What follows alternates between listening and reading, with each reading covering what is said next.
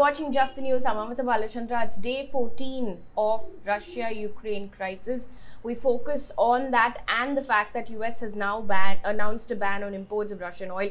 We talk about what the impact of that will be. We also focus on the explosion that's taken place in Jammu and Kashmir, which has killed one and injured 14 others.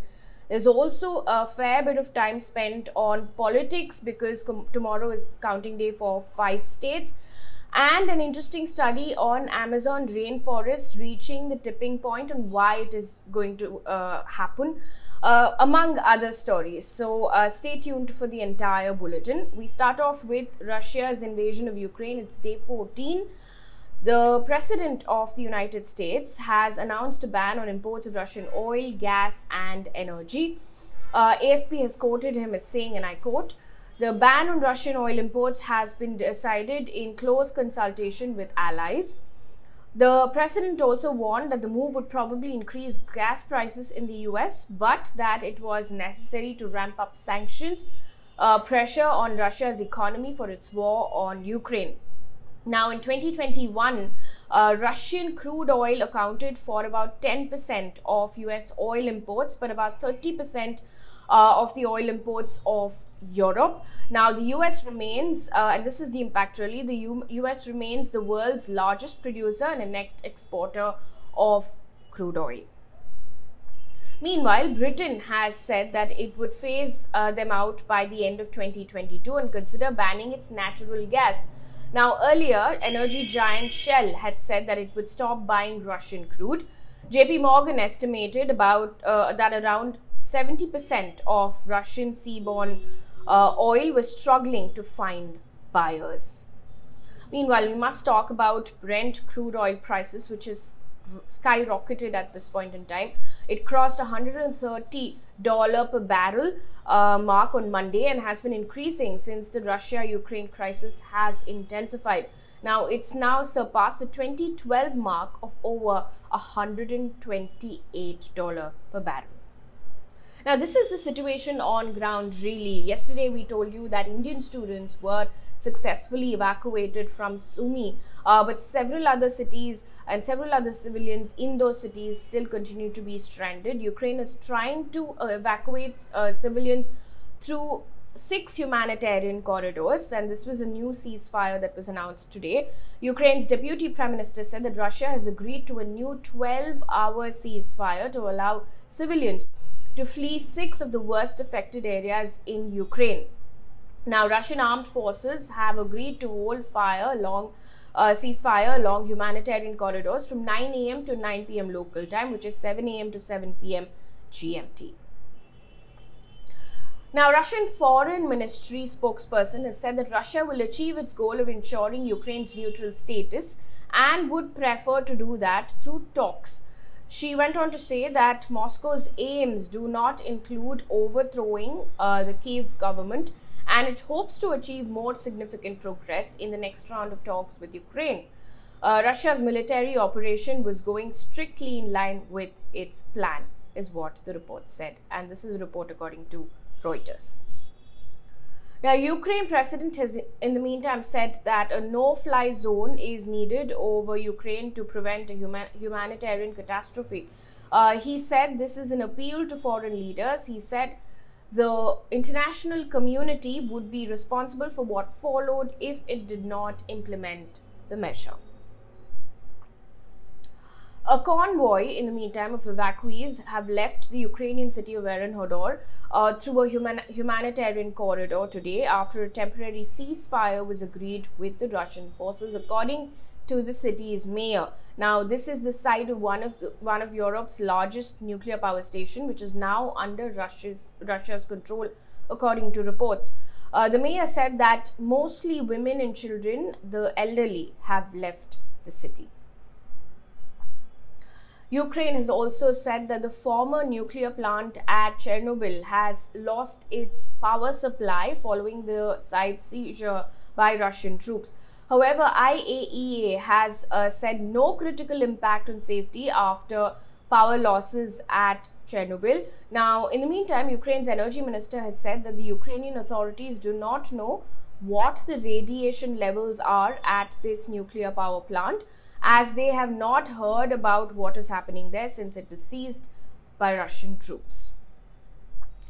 The world, in the meantime, is trying to impose more sanctions. We start off with the European Union. France has announced that the European Union has agreed to a new round of sanctions targeting senior Russian officials.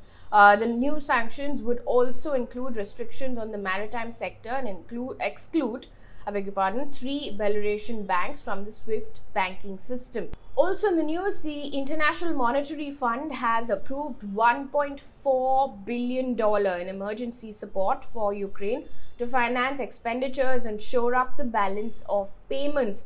Ukraine had turned to financing uh, from uh, allies and international institutions to support its economy after the Russian invasion began on the 24th of February. Now, there's an interesting comment that's coming from Union Minister Piyush Goyal, who today said that the students in Ukraine did not take the advisory seriously. Now, India has said that all students who were stuck in Sumy have been evacuated. So, evacuation uh, and what it called Operation Ganga is complete, is what the Indian government has said. Mr. Goyal, according to ANI, has said, and I quote, the Government of India issued advisory on 15th February. Thereafter, we issued two more advisories. 4,000 people came before the war broke out. More could have come. Neither students took advisories seriously nor their universities permitted them to leave Ukraine. End quote. Now, there are enough reports talking about how these advisories, especially the ones initially, were not worded right. Now, an old news report has pointed out that the Indian embassy in Ukraine had also asked the students to not panic and maintain the stance till the 20th of February.